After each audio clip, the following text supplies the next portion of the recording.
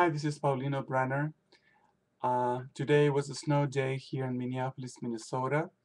So I was at home all day doing some home chores, but also planning my week and doing some lesson planning.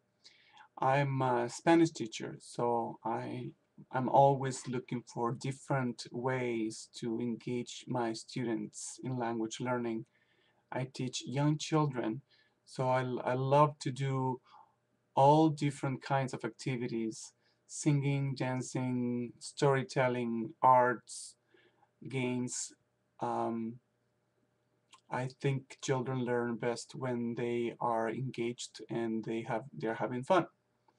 And I remembered the the way that I started learning English when I was about six years old. It was not with a teacher, it was with the with books and cassettes there were cassettes at that time and I was wondering how was it possible for me to remember it so well after 30 years.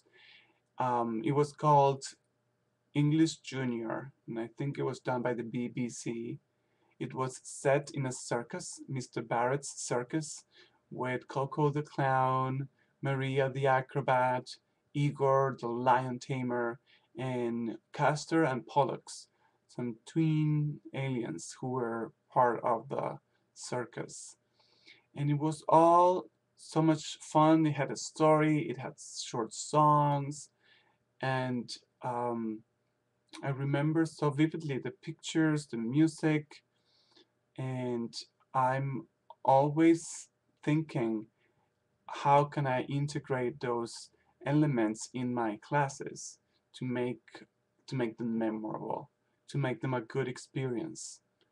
Um, so I'm always trying to build and write stories for my children and um, include songs in them in them um, but I'm wondering what what worked for you what what is it that you remember from the time when you started learning a language that was memorable and motivated you to continue learning that language?